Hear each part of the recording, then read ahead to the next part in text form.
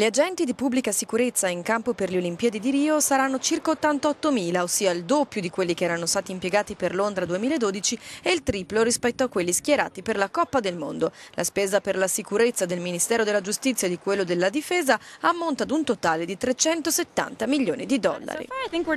Finora siamo rimasti piacevolmente sorpresi dalla sicurezza, c'è molta presenza militare ma ti fa sentire più tranquillo.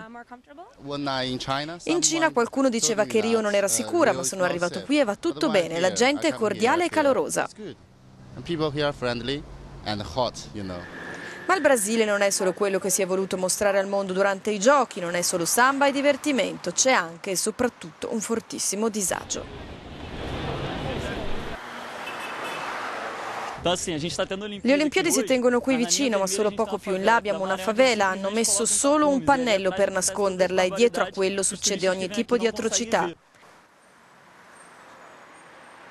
Alla cerimonia di apertura delle Olimpiadi di Rio c'era la metà delle autorità che presenziarono alla cerimonia che aprì Londra nel 2012. L'aspetto positivo è che queste sono le Olimpiadi con un numero record di atleti e paesi partecipanti.